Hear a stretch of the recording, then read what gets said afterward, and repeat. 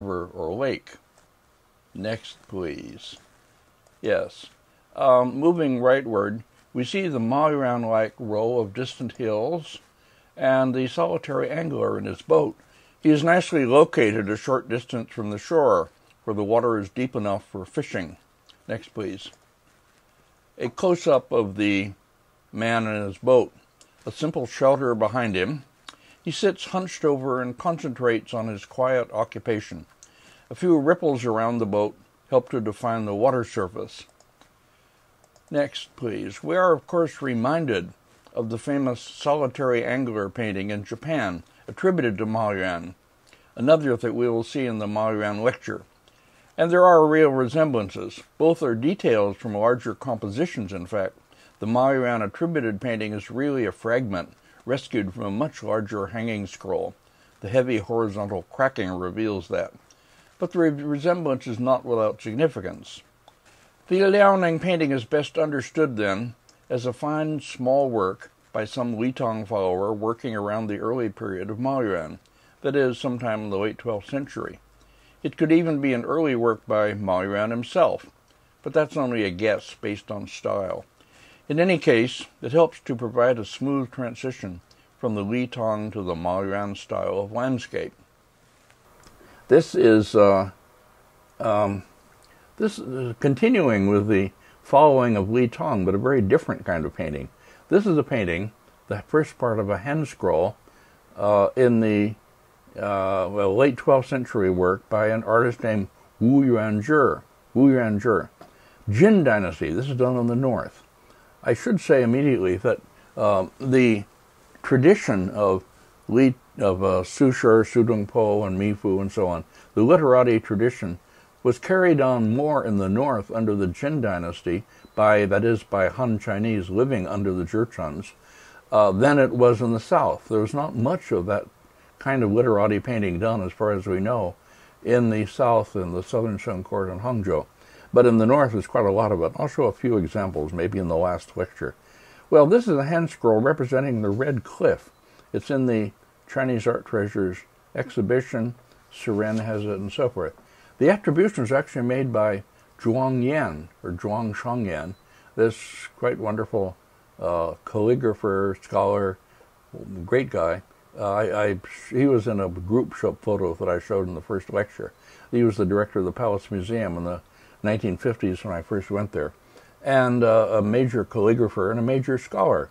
And he discovered that the copy of the, the calligraphy writing of the Red Cliff Ode by Su Dong Po, which follows the painting, to which this painting is in fact a kind of frontispiece.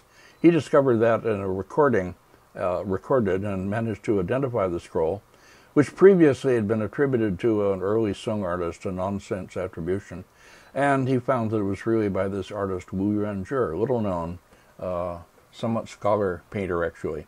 At any rate, uh, it's a painting that represents the Red Cliff Ode, but uh, is somewhat in the Li Tang tradition. Here's the first part of it, and uh, it's an easy entrance with a lot of space, and then a river shore coming into the foreground, and then here the second part.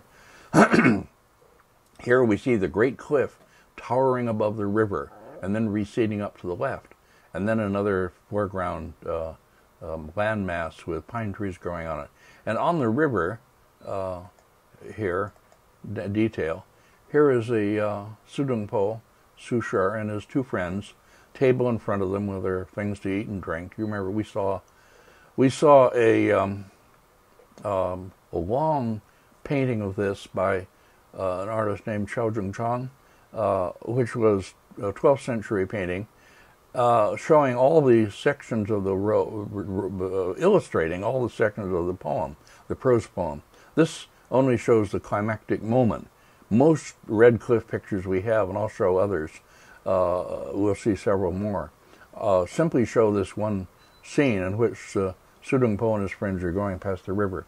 Anyway, here they are, and then up above, we see the uh, the cliff face.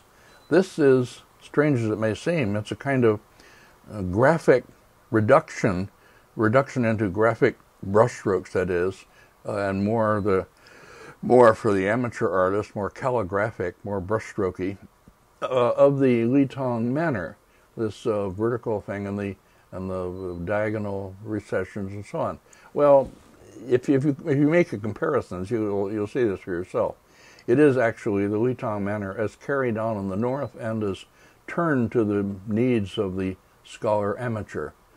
and here down below is the uh, and the lower left is the swirling water around the rocks and the pines being blown by the wind. Quite a wonderful, wonderful picture. Now, I think I'll stop here and then go on later with uh, with paintings with political content. Okay, so much for this this one. We'll stop here.